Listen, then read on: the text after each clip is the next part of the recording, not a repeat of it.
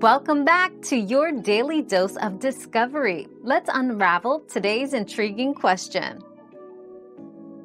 In California, employers are not required by state law to pay time and a half for work performed on holidays. Compensation for holiday work is generally a matter of agreement between the employer and employee. However, if working on a holiday pushes an employee's weekly hours over 40, the excess hours must be paid at overtime rates.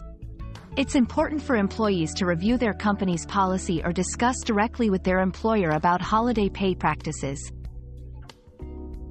We've quenched today's curiosity, but there's always more to learn. Keep the curiosity alive by subscribing and joining us for our next adventure.